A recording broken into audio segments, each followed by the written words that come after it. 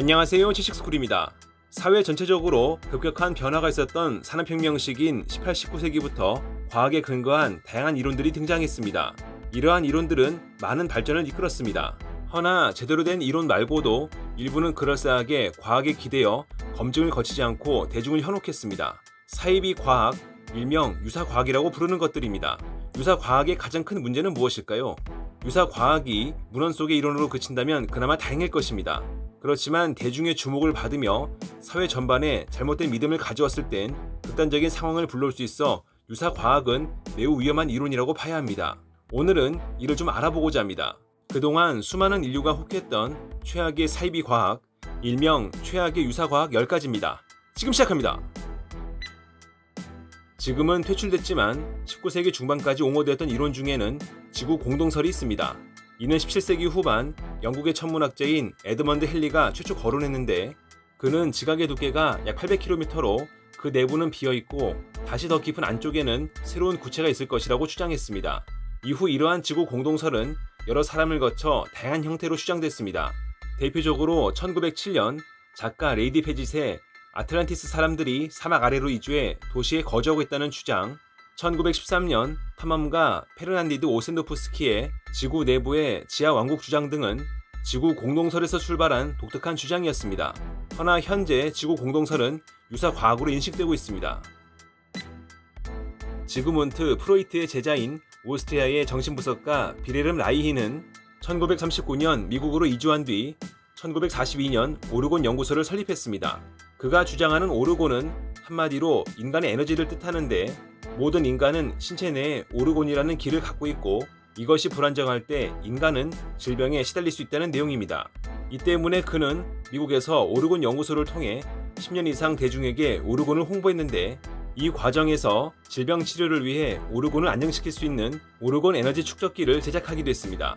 대중에게 점차 알려지면서 이에 대한 비판은 커졌습니다.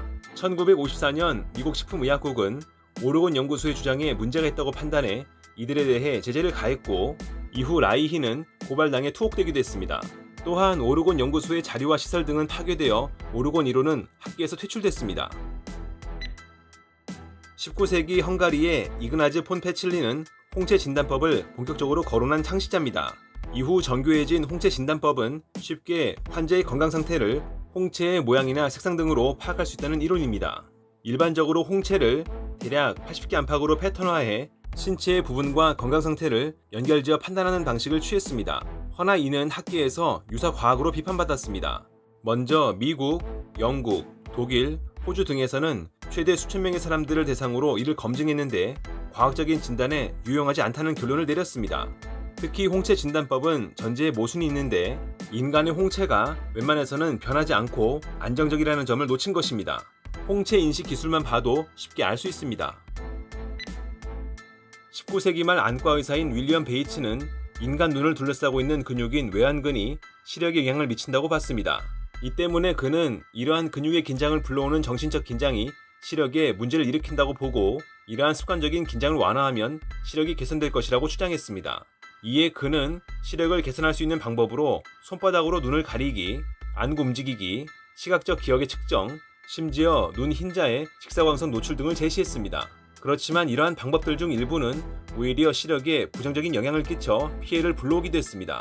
참고로 2004년 미국 안과학회는 이러한 방법들이 시력에 긍정적인 객관적인 증거는 발견되지 않았다고 밝혔습니다. 달 효과로는 달이 인간의 행동과 생리적 변화에 영향을 미친다는 이론입니다. 실제 이와 관련한 연구 논문은 그동안 수십 편이 공개됐을 정도로 학계에서도 달 효과론에 많은 관심을 보였습니다.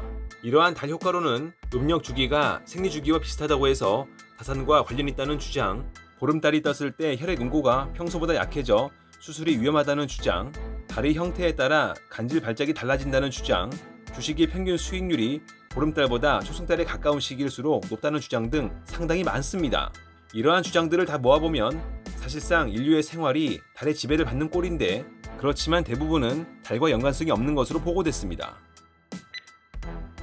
몸 안의 독소와 같은 노폐물을 없애는 대체요법인 해독, 일명 디톡스는 많은 관심을 받았습니다. 이러한 독소를 제거하는 방법은 대중에게 매우 다양한 형태로 알려졌는데 단식, 식이요법, 특정 음식 섭취 또는 특정 음식 거부, 장 세척 등 기준을 잡아 분류하기가 힘들 정도입니다. 사실 이러한 디톡스는 19세기만 해도 비효율적이라고 판단했고 20세기에 접어들어서는 대중으로부터도 외면됐습니다. 헌데 이보다 과학이 발달한 1970년대 이후 대체의학이 새롭게 관심을 모으면서 디톡스는 다시 부활해 지금에 이르게 됐습니다. 다수의 과학자들은 독소로 간주되는 것들은 신체의 간과 신장 등에서 처리되기 때문에 해독이 필요하지 않다며 디톡스를 비판했습니다. 영국 영양학협회는 이를 마케팅으로 치부했고 영국의 Sense about Science는 이를 시간과 돈 낭비로 묘사했으며 세계적 대체의학 권위자인 에드자르트 에른스트 명예교수는 사기꾼들이 가짜 치료제를 팔기 위한 것이라고 비난했습니다. 최근 전 세계적인 문제로 등장한 기후변화에 대해서도 이를 의심하거나 부정하는 주장이 있습니다. 이들의 주장은 매우 다양한 형태를 띠고 있고 이를 주장하는 사람들은 기후변화와 관련해 과학적으로 확인된 사실에 대해서도 문제를 제기했습니다. 이들은 과학적인 근거와는 동떨어진 주장을 펼치는데 가장 큰 문제는 이러한 것들이 기후변화 대응에 장애가 되고 있다는 점입니다. 일부 정치 세력과도 연계되어 있고 배출 규제에 반대하는 석유업계와 같은 산업 분야에서도 일부는 기후변화 부정론을 로비에 활용하고 있을 정도입니다. 대표적으로 브라질에선 극우 성향의 현 대통령인 자이르 보우소나루가 취임하면서 아마존의 삼림 파괴율이 과거보다 57% 증가하게 됐는데 이에 더해 지난해까지 브라질 외무장관이었던 에르네스토 아라우호는 기후변화를 음모라고 주장했고 부천에 기후변화 부서를 없애기도 했습니다. 달 착륙 음모론은 나사의 아폴로 계획이 날조라고 비판하는 주장입니다. 이는 아폴로 11호가 달에 최초로 착륙한 1969년 7월 16일 이후부터 현재까지 이어져 오고 있는데 이러한 주장은 개인부터 단체까지 주체가 매우 다양하다는 특징이 있습니다. 달 착륙 음모론은 6번의 달 착륙과 달 위를 걸었던 12명의 우주비행사 모두 조작이라고 강조하는데 각종 과학 장비를 동원하고 과학 이론을 가져와 음모론을 제기함으로써 많은 대중이 이에 현혹된 바 있습니다. 실제로 미국인의 10%, 영국인의 25%, 러시아인의 28%가 아폴로 계획이 조작이라 믿는다는 여론조사 결과는 이를 잘 말해줍니다. 허나 이들의 주장에 대한 반박은 이미 충분하게 이뤄졌고 아폴로 프로젝트는 40만 명 이상이 참여했던 대규모 사업이어서 조작은 불가능합니다. 19세기에는 정신질환에 대한 관심이 많았습니다. 이 때문에 이를 주제로 한 이론은 매우 다양했는데 그중 골상학을 주목할 필요가 있습니다. 쉽게 사람의 두개골과 두뇌의 형상이 그 사람의 성격과 행동을 결정짓는다는 이론입니다. 골상학의 대표적인 학자는 19세기 초에 프란츠 조셉 갈로 그는 골상학을 실질적으로 창시했는데 이후 골상학은 요한 스펄츠하임에 의해 더욱 정교화됐습니다. 후대에 이르러서는 범죄가 유전된다고 주장한 체사레 롬브로소 등의 학자에 많은 영향을 미쳤고 한때 법 집행기관에서 흉악범의 두개골을 보관하는 것도 골상학의 영향이라고 볼 수 있습니다. 골상학이 유행했던 시기에는 직원 면접 때도 골상학 전문가가 동원되기도 했지만 무엇보다 가장 큰 문제는 백인의 우월성을 강조하며 노예제도를 정당화하는 데 활용됐다는 점입니다. 참고로 골상학은 20세기 초에 대부분 퇴출됐지만 영국의 골상학회는 1967년에야 해산된 바 있습니다. 프랑스의 아서 드 고비노와 영국의 휴스턴 스튜어트 체인벌린의 이론은 아리아주의의 등장을 촉발시켰습니다. 특히 이후 한스 프리드리히 칼 귄터 같은 학자는 1927년 유럽의 인종을 다섯 가지 계층으로 분류해 북유럽인을 가장 높게 평가했고 독일인이 북유럽의 유산을 받았다고 주장했습니다. 게다가 유대인과 슬라이브인에 대해서는 기원에 대한 궤변을 내세우며 이들을 부정했습니다. 문제는 오프닝 때 말씀드린 것처럼 이러한 유사과학이 대중의 주목을 받으며 사회적으로 잘못된 믿음을 가져와 극단적인 상황을 불러온다는 것인데 아리안주의가 대표적인 사례입니다. 이러한 아리안주의는 나치즘의 이데올로기에 많은 영향을 끼쳤고 이는 이후 정책으로 표출돼 600만 명의 유태인을 비롯해 이외의 다수의 생명을 앗아갔습니다.